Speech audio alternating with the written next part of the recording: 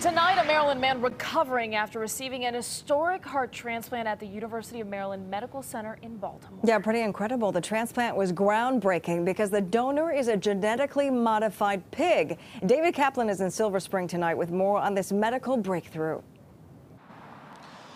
It was a Blacksburg, Virginia based company, a subsidiary of United Therapeutics here in Silver Spring, that supplied the genetically modified pig heart to 57 year old David Bennett from just outside of Baltimore. Tonight, the University of Maryland School of Medicine sharing some images of the whole procedure.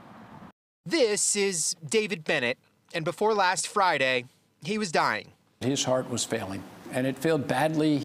It was either die or do this transplant. I want to live. I know it's a shot in the dark, but it's my last choice, Bennett told the University of Maryland School of Medicine. Dr. Bartley Griffith, the surgeon, says this genetically modified pig heart was the only available option. The FDA granted emergency authorization for the surgery, and last Friday, these images, shared with Fox 5 from the University of Maryland School of Medicine, shows the procedure. Here's Dr. Griffith before the surgery. The donor animal uh, was very stable, and the, uh, the organ looks perfect. Doctors are cautiously optimistic the surgery was a success, the first heart transplant from a pig into a human. Doctors say Bennett has responded well thus far, three days after surgery. Dr. Mohammed Mohiuddin runs UMD's program for transplants like these. We are all uh, very excited to see this big heart beating in this human. Uh, uh, this big heart has performed so far very well, uh, even beyond our expectations. It still is a research therapy.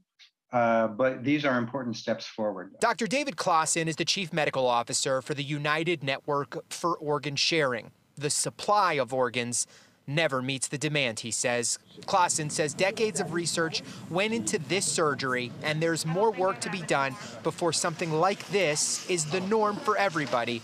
But it marks a big, exciting step, he says. We're, you know, it, we've kind of opened some new doors and are starting to to address important issues, but the the the path to to having this be, you know, a fully mature therapy that is the standard of care for patients with organ failure is still that's still a long road ahead.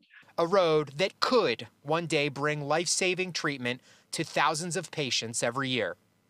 Have to emphasize David Bennett still being incredibly closely monitored now, and that will likely happen in the future to see how he is doing. Certainly, something doctors remain hopeful and optimistic that he will continue to improve.